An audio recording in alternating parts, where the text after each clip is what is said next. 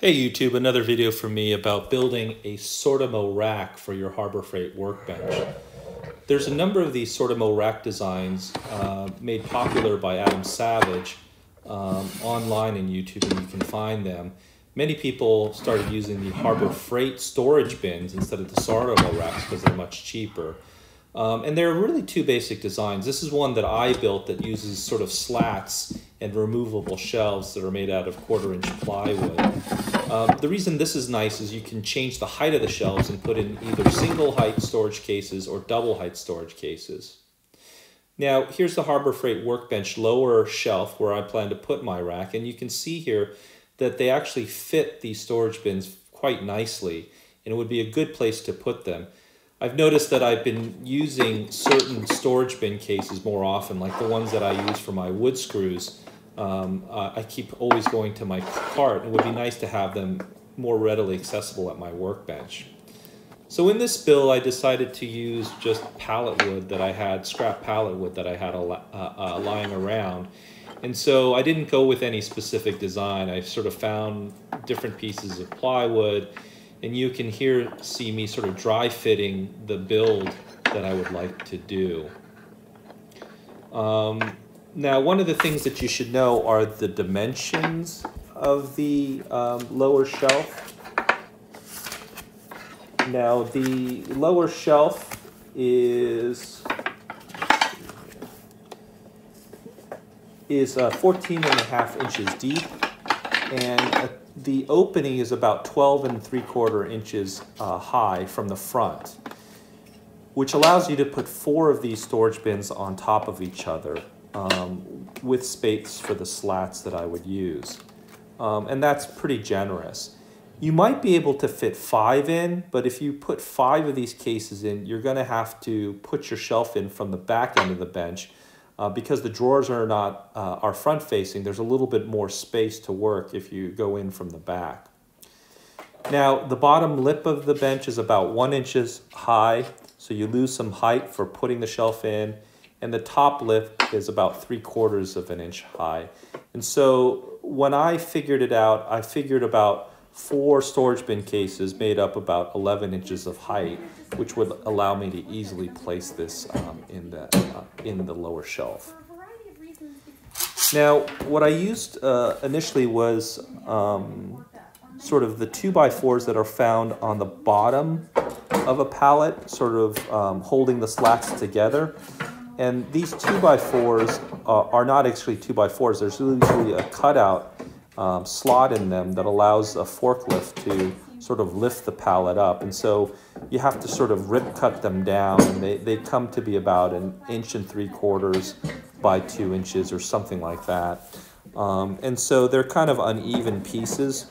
Um, and again, uh, I just sort of used what I had in, on hand. I did plane them down uh, using a planer to make them a little bit cleaner. Um, but what I decided to do is then just sort of dry fit all the pieces that I had together, um, cut them down as needed to make sure that they fit the bins and they would fit in the appropriate space. So uh, after I got the rough pieces, my design was going to be a sort of a U-shaped box. And then I would cut dados along the side frame uh, to insert slats from a pallet uh, to serve as runners that would hold up and serve as a rack for the um, um, storage bins. Now, the key here, this is not like my original um, storage bin case that has shelves. These are just going to have little runners along the side, and those will be fixed with glue, and therefore you can only use the single height storage bins and not the double height storage bins, but that's all I, I really needed.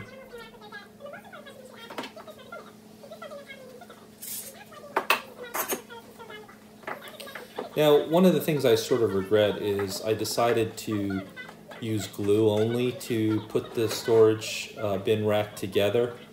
Um, just thought it would be easier, but in hindsight, I probably should have used screws as I would have challenges with the glued joints uh, when I tried to cut the dados.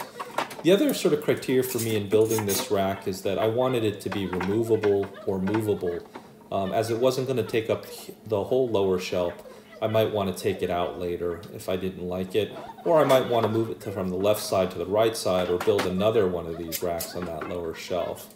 I previously used to store power tools down there, like my uh, circular saw and drills, uh, but I built a sort of French cleat tool cart to uh, store those tools, and so that space became available, um, and I decided to get more of these storage bins, um, and then the ones that I use specifically for woodworking, or uh, the ones that I often reach to when I'm working with this bench, I decided to store at this bench here. And again, you can see me constantly checking the size um, to make sure that the these racks fit.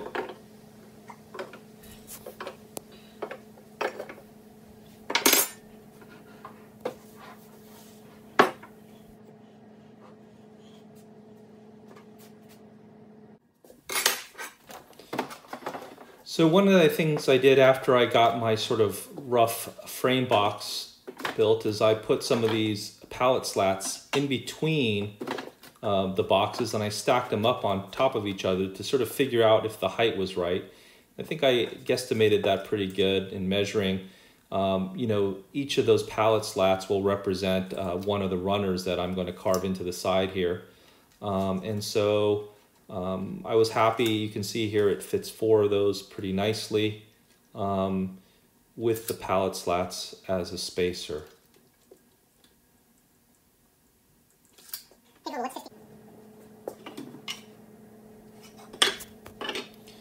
Now for the side slats to, to put the storage bins on, what I did was I just took some pallet slats and I ripped them in half.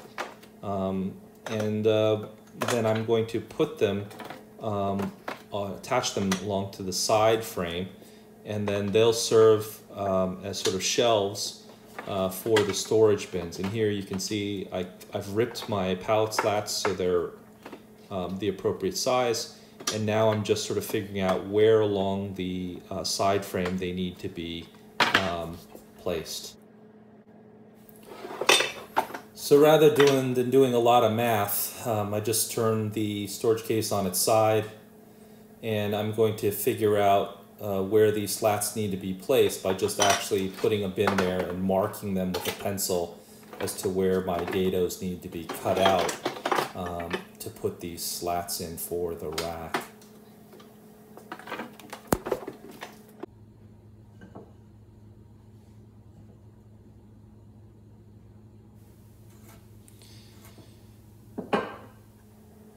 And um, just using the slats themselves, I used a square and figured out where I need to cut the dados out for the uh, other side of the rack.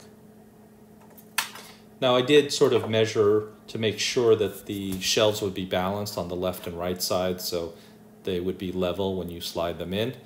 Um, but it was pretty straightforward to do this.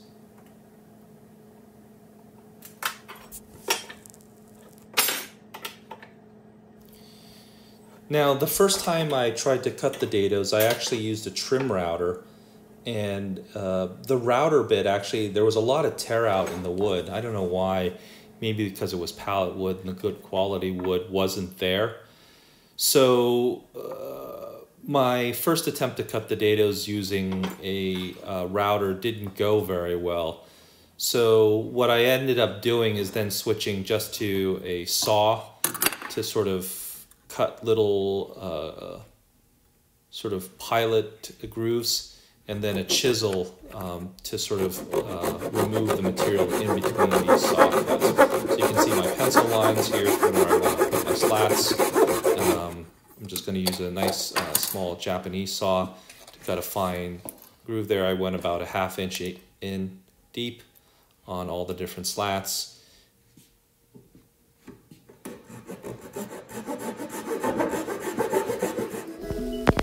After cutting the slats, I then started using a chisel to sort of remove the other material to make my dados uh, for my um, shelves. Now, this is where I had problems. I, as I started chiseling, the glue up wasn't completely dry, and then the box I had originally glued together started falling apart. And so I just decided to go with it, figure chiseling out my slats first, and then I would re-glue the uh, whole box structure together again after I was done. So after I was done uh, putting in my dados uh, using my chisel, cleaning them up a little bit with a file, I glued the box structure back together with some clamps and then I sort of broke down and decided to use some uh, wood screws to make sure that the structure held together uh, moving forward.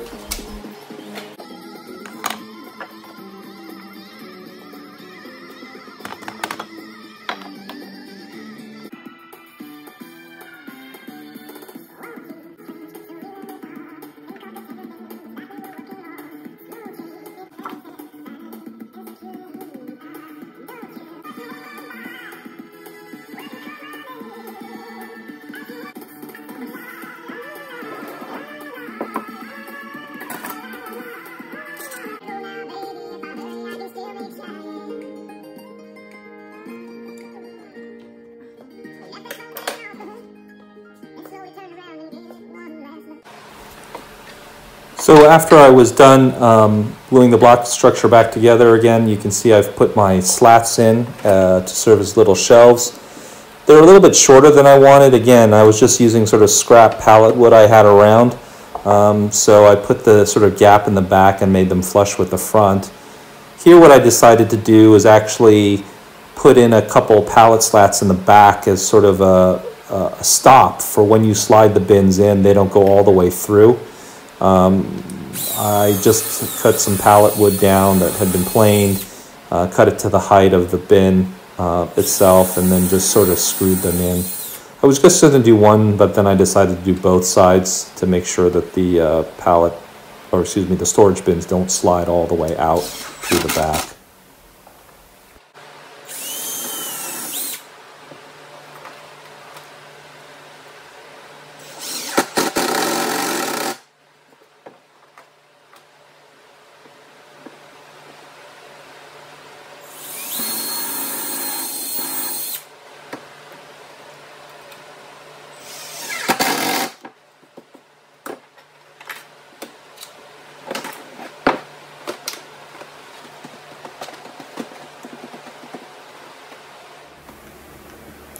Then finally, I just uh, finished the project up with some wipe-on poly to protect it because I think there's going to be a lot of rubbing from the bins going in and out. Um, after the first coat dried, I applied a second coat of wipe-on poly.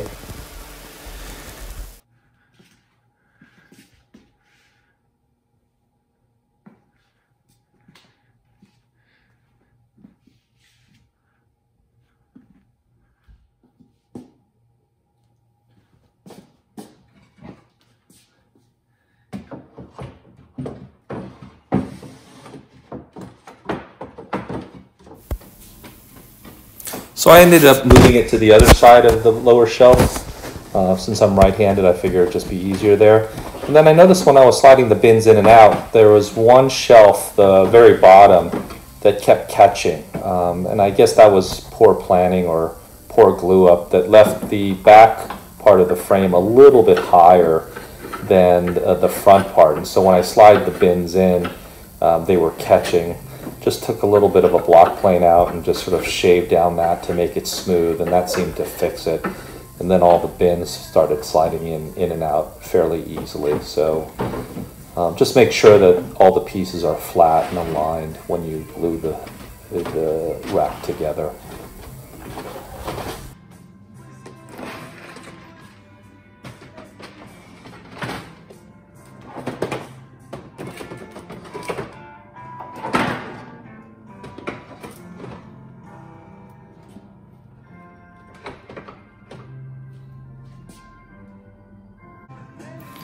So a preview of a future video. I really like uh, this workbench, but one of the drawbacks that I've noticed is that the clamp or the vise is actually on the side. It's a tail vise, which makes accessing it a little bit difficult. It would be nice if there was a front face vise on this workbench. And so I'm gonna try to make a mod that will allow you to sort of secure wood on the front part of this uh, workbench. So look for that uh, video in the near future. Thanks.